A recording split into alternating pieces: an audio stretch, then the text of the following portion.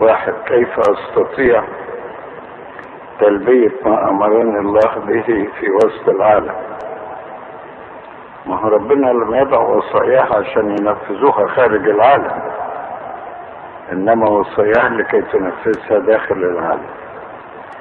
كيف تعمل أن تدخل من الباب الضيق أن تغصب نفسك أن تضبط ذاتك أن تجاهد؟